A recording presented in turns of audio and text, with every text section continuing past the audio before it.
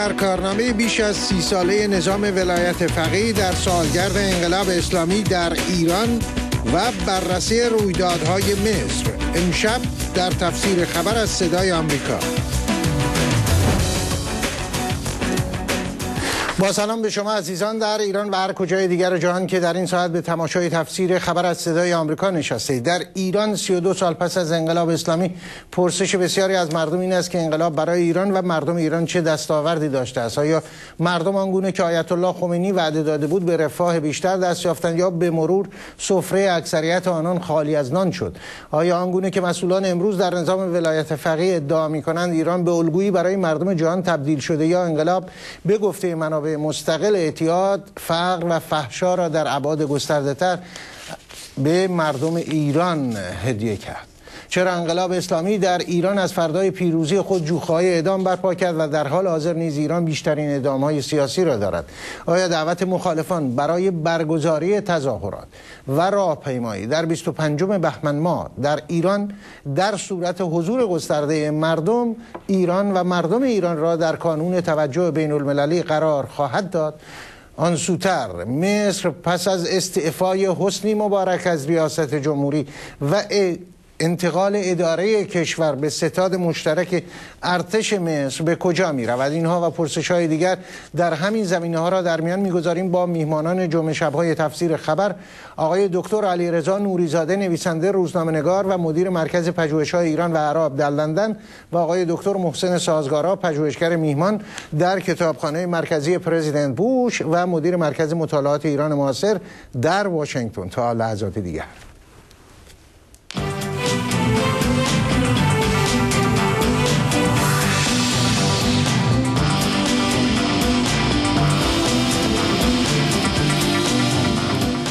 خب زود بگم خدمتون به گزارش خبرگزاری ها جمعیت در میدون تحریر به رقص و پایکوبی مشغول هستند اولین کشور عرب قطر هست که گفته انتقال قدرت در مصر رو مثبت ارزیابی کرده. این نخستین واکنش کشور عرب اراده مردم مصر قابل احترام است. مسئولان قطری و تجمع کنندگان در اطراف ساختمان رادیو تلویزیون مصر در, در حال بازگشت به میدون تحریر هستن قراره سخنگوی ارتش مصر هم به زودی سخنانی ایراد کنه. به اتفاق آقای سازگارا به لندن میریم. سلام آقای نوریزاده است درود بر شما جناب چالنگی. سلام به دکتر سازگارای عزیز و همه بینندگان و شنوندگان صدای آمریکا به ویژه در خانه پدری. بینندگان ما از طریق صدای آمریکا در جریان آخرین اخبار مصر هستن. من توضیح نمیدم. مصر به کجا میره؟ مبارک استعفا. ارتش عهدهدار کنم جناب جناب چالنگی من در طول این پوشش پوشش دادن به رویدادها و تحولات مصر از اون نقطه آغاز که شروع کردم از جمله حتی در برنامه دیشب زیر زربین در خدمت های بهادر همه جا من اشاره می کردم که مصر یک روندی داره که می تواند روند منطقی غذایا باشد. به این معنا که آقای مبارک اختیارات خود رو تفیز بکنه به عمر سلیمان و بره در شرم و شیخ. و اینو من از دو هفته پیش بهش اشاره می کردم و در شرم و شیخ فقط به عنوان یک سایه باشه. و جاهایی که به خاطر قانون اساسی نیاز دارن به اینکه او دستور رو بده بتوانن به اسمش دستور بدن یا نامه امضا کنه.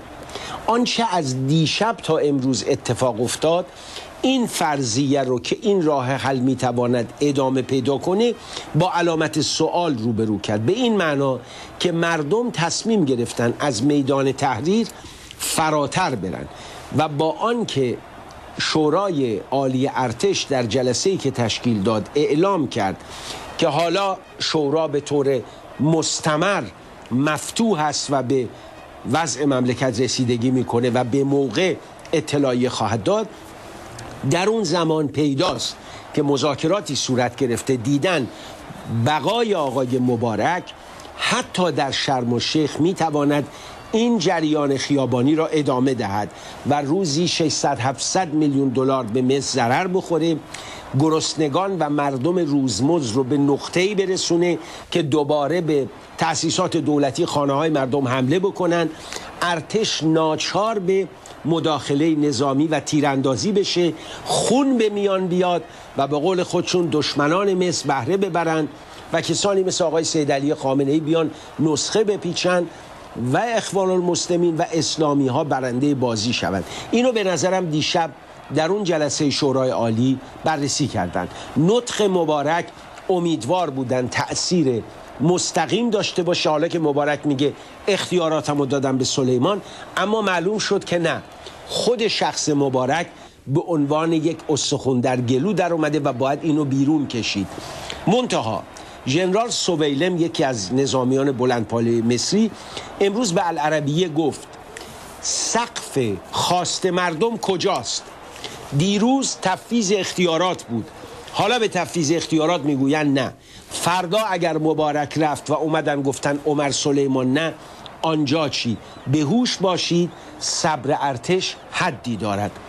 ارتش امروز اعلامیه دومش داد. به مردم سخنی گفت که به نظر من پایان مبارک بود. گفت ارتش لغو قانون وضع فوقالعاده رو که از 1956 تا امروز منهای 18 ماه در زمان سادات برقرار بوده لغوش رو تضمین خواهد کرد. و به این ترتیب گفت که این ما هستیم که این کار رو می‌کنیم. یعنی دیگه نیازی به امضای مبارک نداریم. الان حالتی ایجاد شده. شورای عالی نظامی سر کار هست. آقای عمر سلیمان به عنوان معاون رئیس جمهوری انگار رئیس جمهوری مرده یا تیر خورده یا مثل زمان سادات که کشته شد یا مریض یا برکنار شده. او در مقام رئیس دولت موقت هست نخست وزیر سر جاش هست شورای عالی نظامی وضعی رو داره که می‌تواند بعد از دو ساعت چهار ساعت پنج ساعت دیگه وضع قانونگذاری هم باشد. یعنی الان شورای عالی نظامی می‌تواند بگوید به خاطر مسلحت مصر مجلس منحل میشه دو مجلس و اون کمیته که درست کردن برای تعدیل قانون اساسی این کمیته رو وسیعتر بکنن از این تعداد قضات و کارشناسان قانون اساسی نمایندگان احزاب هم توش بیان و بله. این شورا بشه به منزله شورای انقلاب و در این صورت انتقال صورت گرفته بدون اینکه اون استقوس یا اساس و بنیان نظام فرو بپاشد. بله یعنی انتقال شروع شده آقای نوری زده یعنی عملا میشه اینو گفت که انتقال قدرت در مصر از ساعاتی پیش عملا شروع شده نیست؟ بله الان ما دوران بعد از مبارک رو طی می‌کنیم.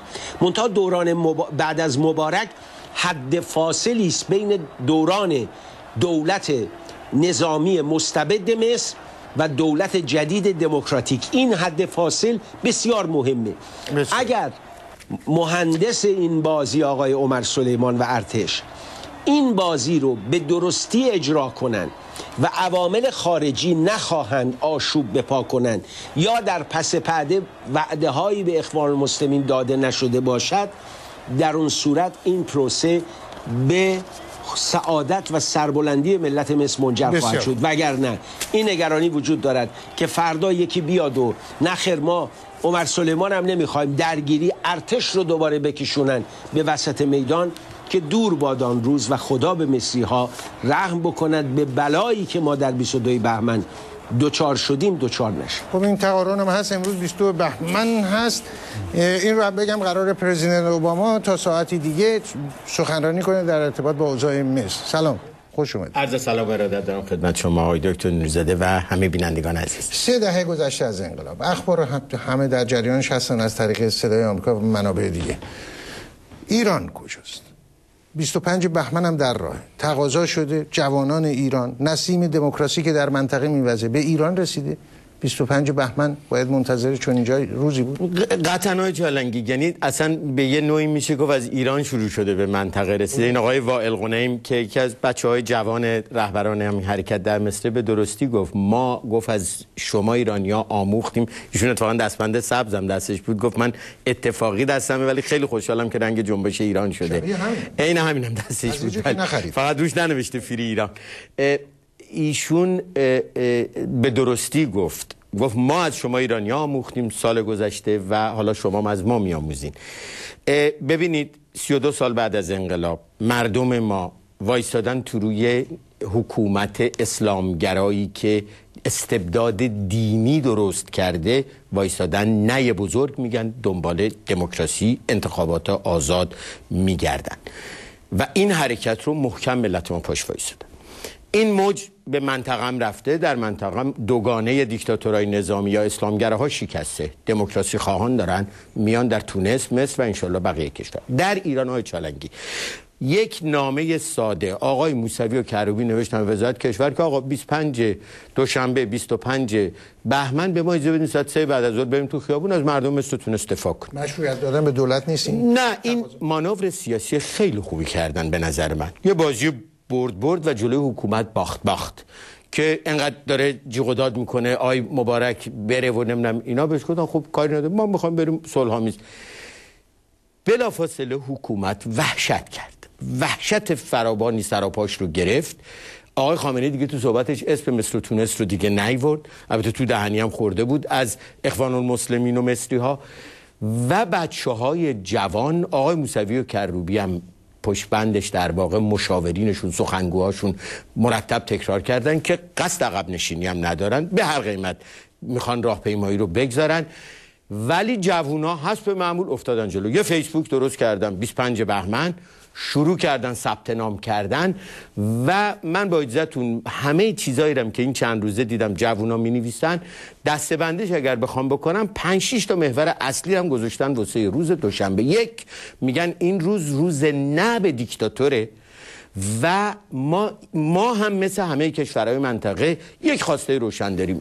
دیکتاتور بره انتخابات آزاد داشته باشیم که همه گرایش ها بتونن در شرکت کنن آقای کروبی و موسوی هم همینو می‌خوان. همینو یعنی. می‌خوان آقای خامنه ای بره. بله سراحتا آقای. ببینید از اونا نمیشه توقع داشته باشید که بگن آقای خامنه ای در وسط شهر تهران بره. ولی قبول دارن خصوصی میگن علنی میگن مشاورینشون میگن سخنگوهاشون میگن. روشن اونها هم تسلیم خواست ملتن. دیکتاتور بره نظام هم هرچی مردم رای دادن. اگر تر...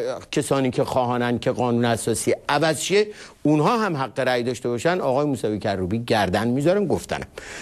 بنابراین مثل بقیه ملت منطقه این اصل اول. دوشنبه روز مرگ بر دیکتاتوره نه به دیکتاتوره در واقع.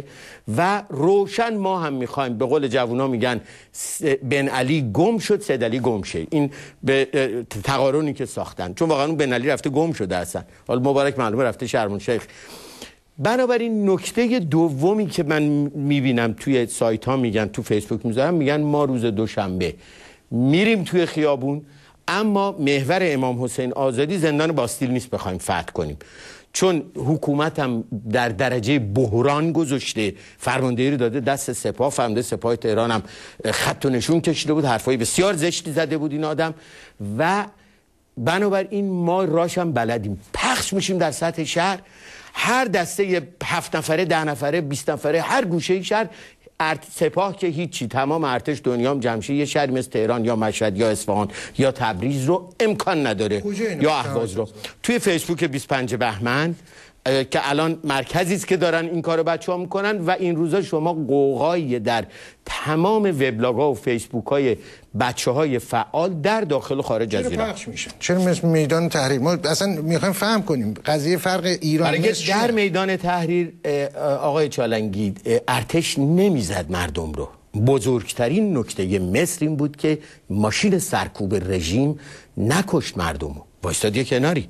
بیطرف وایستاد حتی وقتی لباس شخصی ها حمله کردن حائل شد بین مردم و زد و خورد نذاشت بشه. البته ارتش ماشین سرکوب نبوده در نبوده امن نه. مرکزی بوده. دیگه اصل یعنی زور اون اونجاست. اما در ایران زور دست سپاهی است که متاسفانه متاسفانه من باید با کمال تاسف بگم برای کسایی که در جنگ از میهن دفاع کردن در زمان جنگ با ایران و عراق دستشون به خون ملت ایران آغشته شده. شرافت سربازی و دفاع از ملت ایران رو زیر پا گذاشته. من اه، صراحتا این رو خدمت دوستان سپاهیمون میگم که این ننگ رو به خودشون نخرن اونهایشون که شرافت خدمت به ملت ایران رو سرلوحه زندگیشون قرار دادن. امثال این آقای همدانی فرمانده سپاه تهران اینها خائن به ملت ایران اینجوری حرف می‌زنن.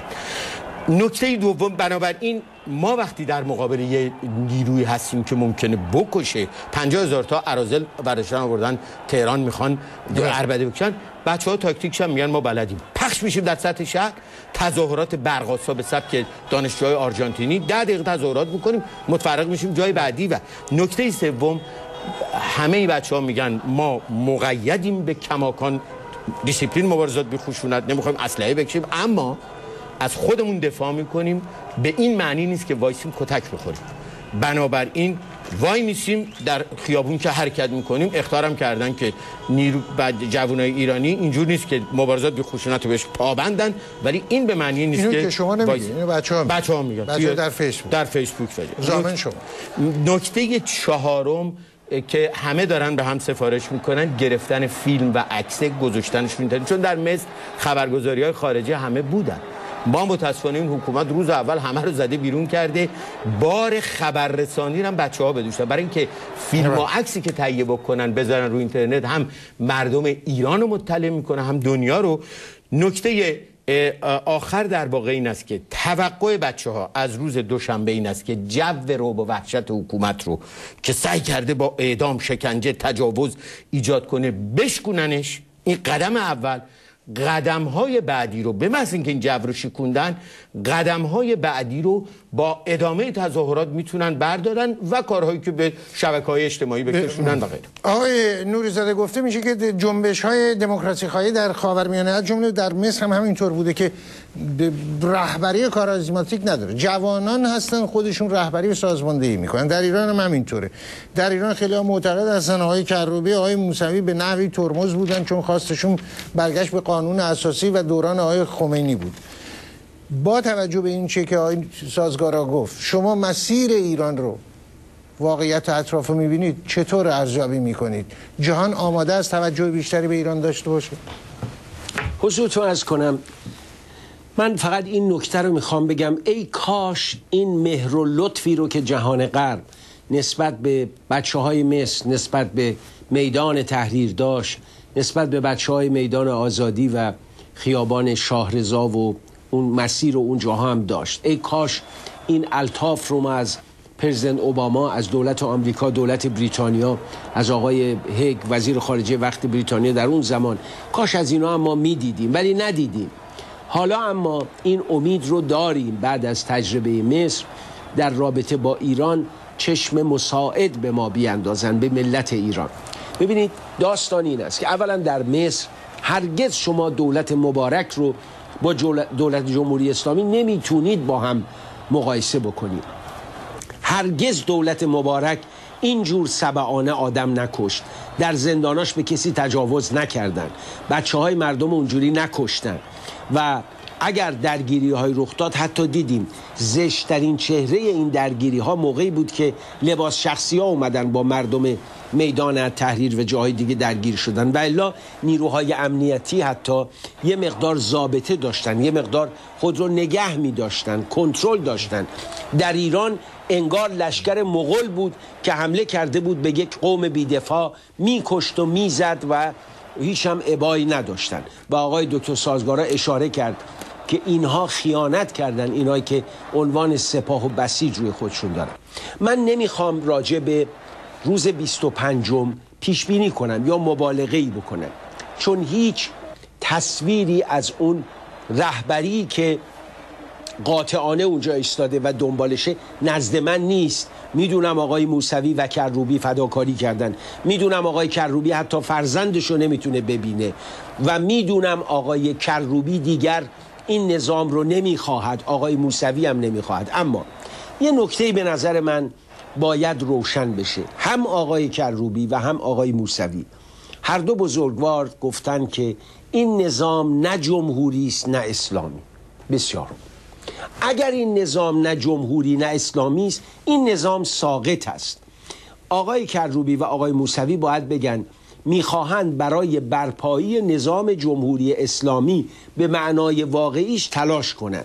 این به نظر من صورت مسئله رو روشن خواهد کرد. چون الان برای مردم این تصور هست که این آقایون فقط می‌خوان خامنه ای بره مثلا آقای خاتمی بیاد بشه ولی فقیه یا یه آدم خوب بیاد بشه ولی فقیه. نه.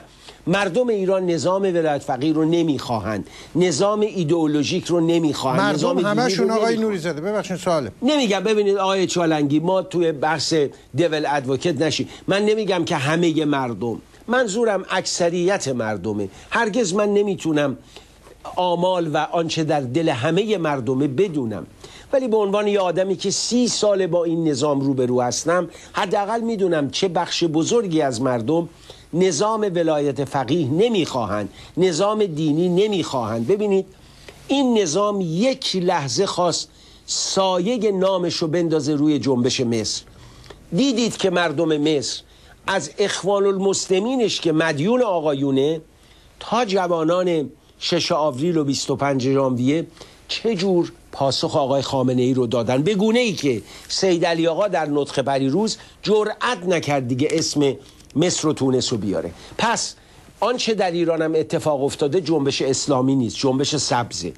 جنبشی است که جهتش عکس انقلاب اسلامی سال 57 در سال 57 یک شعبده بزرگ ملتی رو فریب داد. ملتی به آزادی رسید. زنده یاد دکتر بختیاری براش اومد که تمام آرزوهاش رو تحقق ببخشه. مردم متاسفانه اکثریت در فریب آن کس که به دیوار عکس مار می‌کشید به دنبال او رفتن و شش روز بعد روی پشت بام مدرسه علوی شاهد اولین قربانیانی بودن که امام خمینی بر جنازهشون نماز خواند. از اون روز تا امروز این جمهوری جمهوری خونه و این مردم امروز در عکس اون مسیر هستن و من مطمئنم اگر بخت با ملت ایران باشد انسجامی باشد و روز دوشنبه. ما شاهد جنبشی باشیم. بدون تردید این بدایت و آغاز مبارکی است. برای آنکه ملت ایران نیز روزی در میدان آزادیشون شاهد شنیدن این عبارت باشند. خامنه ای رفت و این اتفاق میمون و مبارک هم می‌تواند در ایران رخ بدهد. واقع بینانه است. آقای سازگاران سه دقیقه وقت. کاملا واقع بینانه است. ببینید من هم مثل دکتر نوریزاده در مسائل اجتماعی سیاسی پیش بینی نمی‌خوام بکنم. ولی همین حرکت دو سه روز گذشته نشون میده که آنچه که در 25 بهمن بچه ها دارن حرفشو می‌زنن تب آزادی خواهی زیر پوست جامعه ای ما جریان داره. جامعه ما و چقدر آقای چالنگی حکومت وحشت زده است. من شخصا خودم باور نمی‌کنم این آقایون اینقدر پاشون رو روی آب ببینن اینقدر خانهشون روی شن باشه. بلافاصله اومدن تو خودشون تصویب کردن. منابع از داخل حکومت خبر میدن. در سه رده به اصطلاح تظاهرات آشوب بحران 25 بهمن و بحران تعریف کردن. بالاترین رده در واقع فرماندهی در اختیار سپاه. نیرو جمع کن. اطلاعیه رفتن آقای کروبی رو حصر خونگی کردن شوهر خواهر آقای موسوی رو گرفتن خواهرزاده آقای خانم رهنورد رو گرفتن. روزنامه نگار دستگیر کن به سرعت آقای کوروش زعیم رو بگیر. حمله کردن برای اینکه بگن بترسونن. وزارت اطلاعات اس می‌زنه به موبایلا که برای اینکه بهتر از هر کسی آقای چالنگی حکومت می‌داند که مردم وقتی پاشونو در خیابون می‌گذارن این همه جو وحشتی که درست کرده اعدام و کشتاری که درست کرده باد هوا میشه. من فکر می‌کنم تا همین جاشم یعنی اصلا صرف از از که بخوام پیش بینی کنم 25 بهمن چه اتفاقی میفته؟ تا همین جاشم های چالنگی یک حرکت ساده یه نامه تقاضای اجازه ساده و یک حرکت جوونا کاملا برد رو به سمت ملت آورد. نشون داد حکومت چقدر وحشت زده است و به نظر من حرکت مردم اگر روز دوشنبه جوون ها با پخش شدن در سطح تمام شهرهای کشور من اینو به خصوص میگم برای اینکه بچه ها شهرستان ها من حداقل می نویسن که ما اینجا می‌خوایم این کار بکنیم کار بکنیم. من استدعام از همه بچه این است که به که به من بنویسن آنچه که در شهرستان هاشون بکنن این است که حرکت پراکنده ای که گیر نیفتن صورتشون بپوشونن امنیتشون حفظ کنن خون از دماغ یکی از بچه های ما نیاد. ولی کمک می‌کنن به بچه های تهران که به هر صورت تو این ماجراها میفتن که دستور عمل نیست این چیزیه که ابدا نه نه. من دارم در واقع گزارش ماوقعی رو میدم های چالنگی. اصلا دستور عمل نمی‌خوام از آنتن وی او بدم. دارم گزارشی رو میدم که در واقع هیجانی که در شهرهای مختلف هم هست بچه های ایرانی برای اینکه واقعا خودشون مستحق می‌دونن. و به نظر من من تکمیل فرمایش های نوریزادی هم بگم آقای کروبی آقای موسوی هم پذیرفتن. آقای کروبی حزبش هم داره اعتماد ملی. فردای ایران مثل عدالت توسعه عرض شود ترکیه ایشون هم میره تو انتخابات کنار ده تا حزب دیگه. رأی آورد میره تو مجلس رأی نیورد نمیره. پذیرفتند آقایون هم که ما از شر دیکتاتور خلاص شیم انتخابات آزاد یعنی ایران از منظورتون میشه اینطور باشه که ایران از مرحله کروبی موسوی و اینها گذشته؟ نه اینکه از مرحله این آقایون گذشته باشه چون اینا انصافا چهره های شناخته بله. شده و مقاوم این جنبشن همین الان این ابتکارشون خب فوق العاده بوده. ندارن که؟ ولی ادعا ندارن بسه. که دوباره بخوان همه حرکت مردم و انحصار دو تا آدم یا اسلامگراها یا یه گروه خاص بکنن.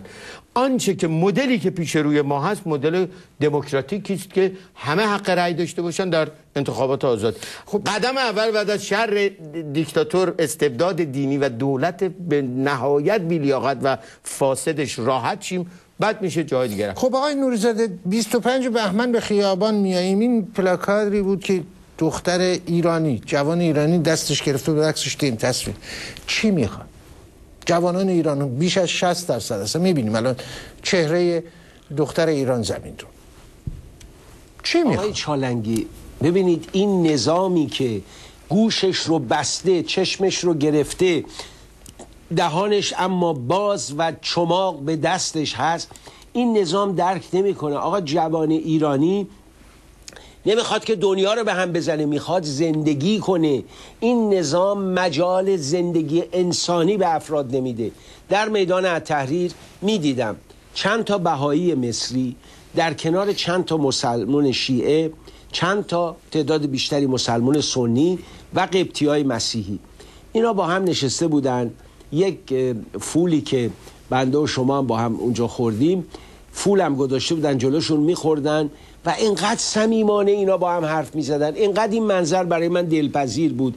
گفتم آیا می‌شود در ایرانم یک روز من ببینم که راحت نشستیم کرد و بلوچ و ترک و تالش و خراسانی و بهایی و زرتشتی و یهودی و مسلمون و مسیحی و با هم یک پارچه و یک صدا هستیم.